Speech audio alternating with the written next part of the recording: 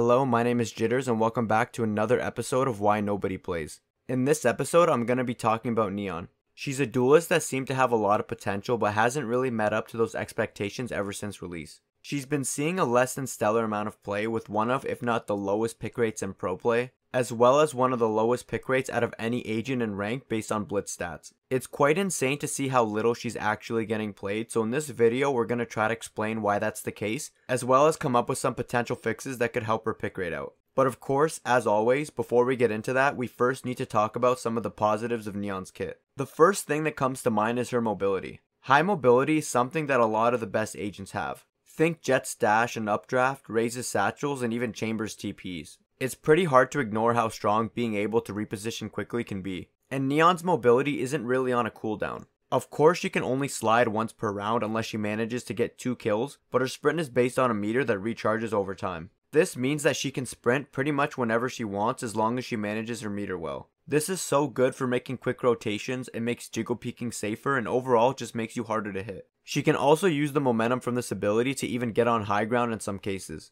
Like on Breeze, where if you have a teammate helping you, you're able to boost yourself all the way up to the top of the pyramids. Movement is a very important part of Valorant, and an agent like Neon is able to take what you can do with your movement to another level. Another pro that Neon has is her stun, which is one of the most annoying abilities in the game. She can stun two different areas, and the stun comes out so quick and covers such a wide area that it's really hard to dodge if she knows what she's doing. Especially when comboed with her speed, she's able to get on top of you so quickly and confirm the kill on you while you're still vulnerable. She also gets two charges, so if she's able to land the first one, the second one is literally impossible to dodge thanks to the movement debuff. And together they leave you stunned for 6 seconds. Do you know how long 6 seconds is in a game like Valorant? Well, in case you don't, here you go.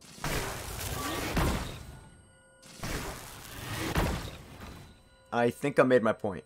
I'm sure there are lineups for this ability to hit two high impact spots on certain maps, but honestly, even if you don't know them, you can kind of just freehand them since they're so forgiving. Anyone who doesn't think Relay Bolt's a powerful ability is on something, and I want some. Finally, the last pro I want to talk about is her ultimate. Neon's Overdrive falls into the class of ultimates that acts like a free weapon. Think Jett's Knives or Chambers Operator. These abilities are all great to have for a similar reason. They allow the agent to help improve their team's economy since they don't need to spend money on a weapon for a round. This helps agents like Neon to have more full buy rounds than other agents, since every few rounds they get a gun for free. Neon's able to run and gun at full speed and even slide with her ult with perfect accuracy, making her extremely difficult to hit and can be really annoying to play against. There's nothing like getting outplayed by an ulting Neon. And that's all for her pros, and there seems to be a lot. She has a lot of things going for her, which is why she seemed like such a strong agent when we first saw her. Unfortunately, along with those pros, she also comes with some cons that make it hard to justify playing her. So let's talk about those cons.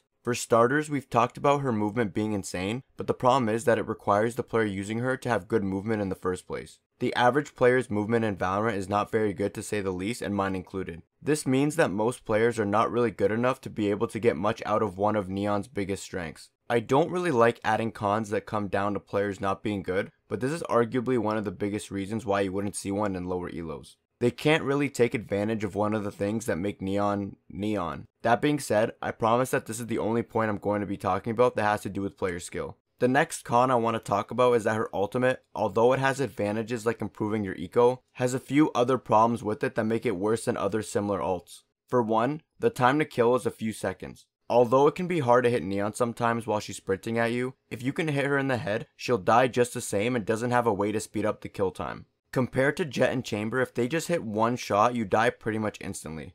Neon's ult on the other hand takes a couple seconds to melt enemies with full health. On top of that, the ultimate also suffers from damage drop off, which is arguably more important. This really limits the range of the ult and means you can't take any fight with it. You have to make sure you're taking shorter range engagements, otherwise you won't deal enough damage and will be an easy pick for an enemy player. It's kinda like going in with a Spectre compared to a Vandal or Phantom. The final con I wanted to talk about is that Neon doesn't really fill a role that's missing in Valorant. She's not great with an op, so you're gonna want either a Jett or a Chamber on your team if you pick her. And the thing is, Jett also fulfills the entry role that Neon's mostly built for. And Jett also has a get out of jail free card that Neon doesn't. This means that Jett can afford to play more aggressively and be relatively safe where Neon can't. She can make an aggressive play with her sprint, slide, and stuns, but she's all in, and if something goes wrong, you're probably gonna die. You can make big plays with Neon, there's no question about it. But when picking a duelist, you need to ask yourself, is that play you're making big enough to justify giving up the safety that a Jett has with their dash? Raze is a strong duelist on certain maps because her AoE damage and Boombot can just get so much value on maps like Bind and Split that it's worth the risk of her not having that get out of jail free card.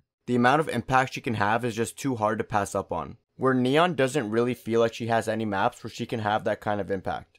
Well, then what can be done to make her good enough? Well, it's pretty hard to just buff the abilities that she has because one wrong change and suddenly she can become too strong. For example, her ultimate's very forgiving, so you can't just make it one-shot enemies like Jett Knives or Chambers ult. But I do think that the range could be helped. I do think that it needs to have damage drop off to be balanced, but if it had a little more range, then maybe it would feel a bit better. Another ability we haven't really talked about is her version of a firewall, which is okay, but sometimes hard to get it to cover areas you want it to. I think if she could curve it similar to how Phoenix can curve his wall, it would also be a good help for her kit. Other than that, I think the rest of her kit is pretty solid. Her movement's really strong and her stun is also insane. Maybe you can make her sprint animation a bit quicker, but other than that, I think it's in a good spot. I honestly think that Neon's a couple changes away from being a good agent, and she doesn't really need any dramatic changes. But that's just my opinion, so let me know what you guys think. And that's all for this episode of Why Nobody Plays.